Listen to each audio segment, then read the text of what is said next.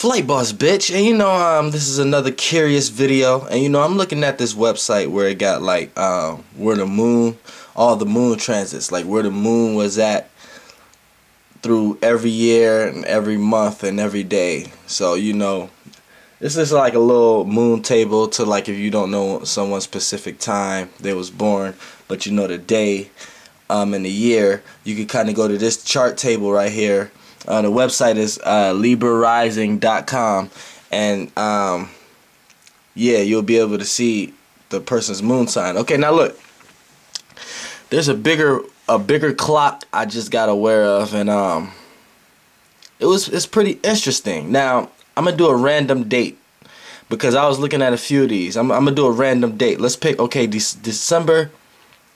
This is 1955, right?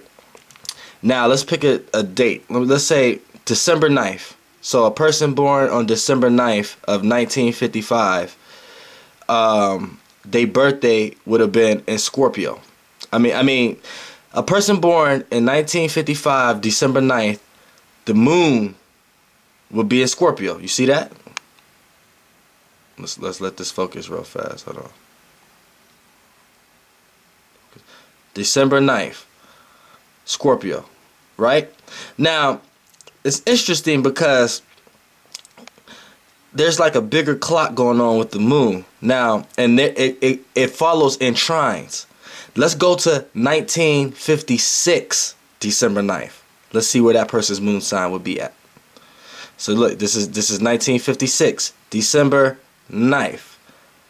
Haha, their moon is in Pisces, which is the fellow water sign. So it, it went into Pisces December 8th and it doesn't go into Aries until de December 11th. So December 9th, their moon was in Pisces. Let's go to 1950, 1957, December 9th. Let's see where this moon person. Now, uh, it appears that it's going to be in Cancer. So we are 1957, right? December 9th. Cancer. It ain't going to Leo until December 10th.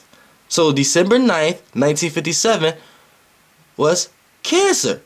Now you see, out of those three years, every time December 9th came around, the moon landed in another water sign. So that three years created a water trine for the whole outlook of the, the date December 9th. So December 9th for them three years created a water trine. This is interesting. It's like a a bigger clock going on. Okay, let, let's let's let's see what's going on in this uh let's let's see what's going on December 9th, 1958.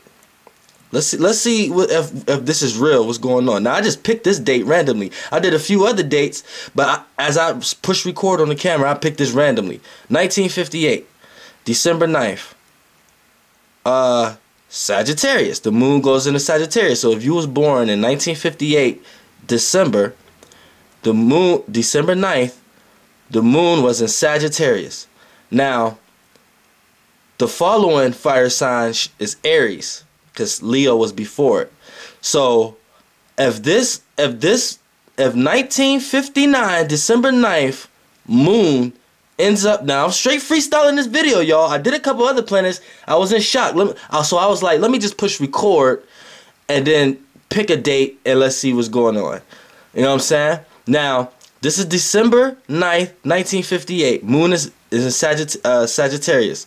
Now the next following fire sign is Aries. Now, this should confirm that there's a bigger clock going on within the years, right?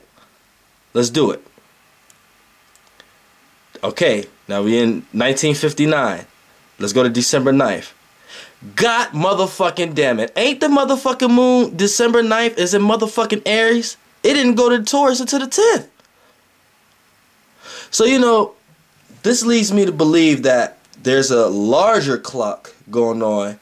And um, as soon as I wrap my mind around that and decipher that, you guys gonna be getting a video because um, with this knowledge right here can open a door to another because you know next year 1960 December 9th your moon gonna be in Leo. I don't know. I don't even have to look at it.